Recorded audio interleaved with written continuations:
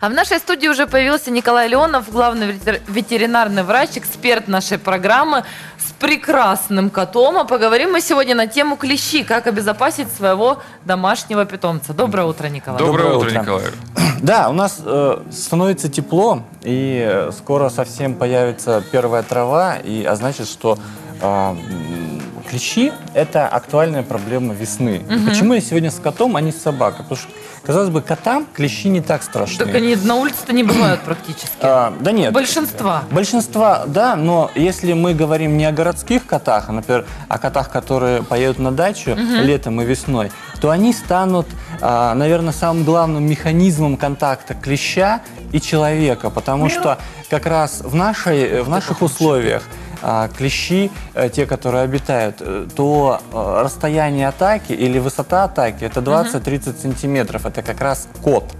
А, И это как раз тонкая мягкая кожа, хорошие сосуды под кожей. Все, что нужно клещам, все, что нужно для э, хорошего питания. То есть а в коты дальнейшем... хватают клещей или клещи хватают Да. котов гораздо чаще, Да, чем либо собак? длинная шерсть, и э, это потом э, кот приходит домой, клещ отваливается и уже переходит на вас, на детей.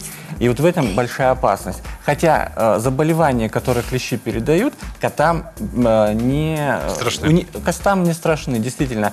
А, так- проблема заключается в собаках, потому что действительно есть заболевания, такие как пироплазмоз, э, который передается эм, от клещей собакам. И в Красноярске, и в Красноярском крае мы встречать его начали. Хотя еще 2-3 года назад мы этого не видели.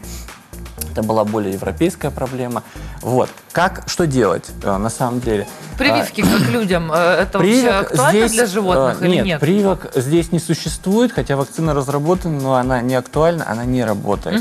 Что, обрабатывать. Действительно, на сегодняшний момент есть хорошие эффективные средства. Они есть в виде капель. Да, это вот такие капли, которые действуют от двух э, до трех до месяцев. укуса. Да. Они есть с различным эффектом. А, Эффект, э, который э, противоклещевой, против накожных паразитов, таких как блох, это актуально летом. И э, в некоторых каплях даже есть эффект против комаров и гнуса, что как раз актуально для кошек, потому что их кусают, и кусают сильно, и очень много э, комары. Но на сегодняшний момент, если мы говорим о например, ошейниках, которые а, тоже могут эффективны быть против клещей или блох, а, то здесь нужно выбирать ошейники, которые будут действовать долго. Носить их нужно правильно, а, так как а, контакт с кожей должен быть постоянный, и он не должен ни в коем случае болтаться на кошке или на собаке. Он тогда не будет действовать, То не есть будет прям выделять все время препараты. нужно носить? Или вот мы поехали на дачу, надели, Всё вернулись, время. сняли? Нет, все время, И, потому и- что... и даже когда он дома? Конечно, концентрация же, она должна находиться в коже и на шерсти долгое время, и для того, чтобы ее добиться, а, нужно долговременное э, как раз ношение и контакт. Вот. Если мы выбираем ошейники, обязательно, э, обязательно выбираем ошейники не отпугивающие, а именно с инсектоакарицидным эффектом, который будет не просто отпугивать. Клещи ничего и блохи не боятся абсолютно. Они ко всему привыкают. Мы должны четко понимать, что мы одели это устройство, да, и оно должно Мяу. убивать клеща. И вот сейчас мы как раз рекомендуем современные препараты. Какие это препараты? Таблетированные. Вот они в руках у вас тоже есть. Вот эти, да, Вот. я так понимаю? Вот Это это капли, таблетки. а вот это таблетки, да, там можно вытащить, кстати, и показать. Вот, они есть такие маленькие для мелких собак, а, и есть вот такие большие для крупных таблетка? собак. Это таблетка. То есть они, в принципе, Она одноразового одна. приема? Да, она одна. И в зависимости от препарата а, они э, здесь И как надолго на да, разный ее вес. хватит? Да, то есть в зависимости от препарата. На года, есть, на есть- года. А, Нет, на года не хватит. Есть от месяца до трех месяцев, до 12 недель как раз мы э, На лето как раз. закрываем да, сезон.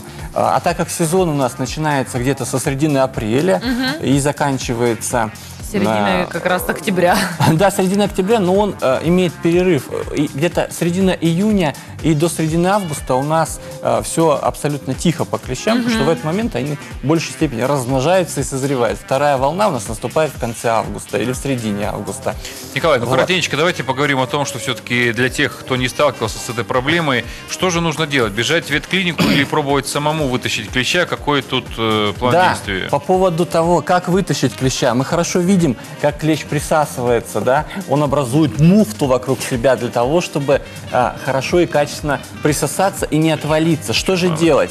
Здесь поможет а, пинцет, э, обычный пинцет, обычный пинцет косметический. А, мы должны взять а, в области шеи вот таким образом и Ушел. а, да, чтобы не убежал. И покрутить немножечко э, насекомое, да, членистоногое, и эм, при этом при всем потянуть вверх. И точно тогда мы сможем э, хорошо и аккуратно вытащить и э, не иметь никаких проблем. И ничего там не останется. Вот. Никаких ниток, никаких веревочек. И ничем смазывать сверху не, Не, надо. нужно. Вот Это потому ошибка. что у людей же раскаляют пинцеты, мажут Ни в коем маслом. То есть случае. это Раскаленный для животных. пинцет вы обрежете шею и останется голова, и потом будут проблемы. Ни в коем случае. Холодный обычный пинцет, ничем не смазываем. И выкручиваем. Покрутили, вытащили, потянули вверх. И все будет аккуратно и хорошо. И никаких э, ран там не остается. Если остается, обычный антисептик, зеленочка А нам вот поможет. э, энцефалитные клещи, они на животных действуют так же, как и на людей? То Нет. есть есть смысл, если все-таки ты достал клеща из своего питомца, ну там в клинику его отвезти, проверить, сдать А, какие-то, может быть, анализы, смотрите, или нет в этом никакой а, необходимости? Здесь важно, если мы видим, что клещ присосался, потому что на- нахождение самого клеща на поверхности кожи может не принести никаких проблем. Именно передача происходит со слюной. Если он присосался, то обязательно за собакой некоторое время нужно понаблюдать. А иногда требуется сдать клинический анализ крови для того, чтобы понять, есть развитие заболевания или, Или нет. нет. Да, и очень важно клеща после того, как вы сняли, все-таки уничтожить, потому что мы не знаем, Сжечь. энцефалитный Что он или нет, э, будет опасен он для человека или нет, потому что они очень живучие, они могут убегать, их, э, не знаю, их нельзя утопить, их нужно уничтожить, э, либо погрузить в специальный раствор, потому что это опасно, это Наш герой опасно. походил по студии, И понял, вернулся. понял, понял, что его быстренько могут поймать и приструнить. Эм, Спасибо за то, что сегодня к нам пришли, поговорили на тему клещей. Николай Леонов был у нас сегодня в гостях, главный ветеринарный врач, эксперт нашей программы. Продолжается прямой эфир и прямо сейчас немного полезной информации.